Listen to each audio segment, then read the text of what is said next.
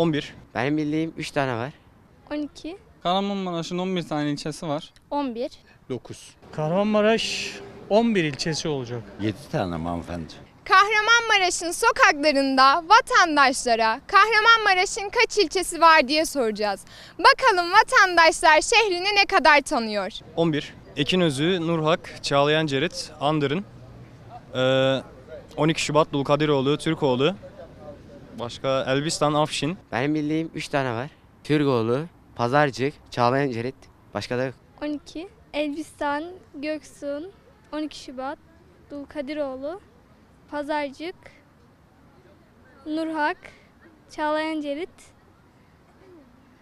Bu kadarını biliyorum. Kahramanmaraş'ın 11 tane ilçesi var. 12 Şubat, Dulkadiroğlu, Afşin, Elbistan, Ekinözü, ondan sonra Göksun, Andırın, Nurak, Çağlayan Cerit, Pazarcık, Türkoğlu, 11, 12 Şubat, Avşin, Dulkadiroğlu, Elbistan, Ekinözü, Göksun, Nurhak, Andırın, Çağlayan Cerit, Pazarcı, Türkoğlu. 7 2 de merkez ilçesi 9. Ekinözü, Elbistan, Avşin, Göksun, Andırın, eee Çağlayan Cerit, Pazarcık, Türkoğlu, 12 Şubat, Dulgatiroğlu.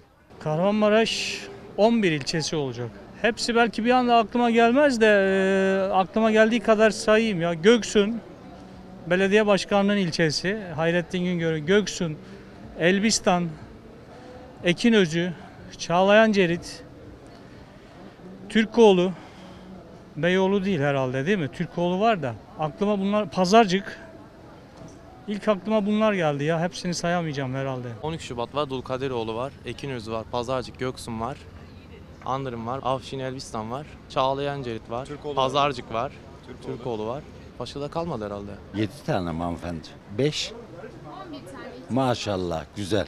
Kömürlüler, Pazarcık, Nallı, Elbistan, Andıra, Türkoğlu. Hepsi bu herhalde benim bildiğim. Pazarcık, Andırın, Türkoğlu, A- Avşin, Elbistan. Başka? Bilmiyorum ben.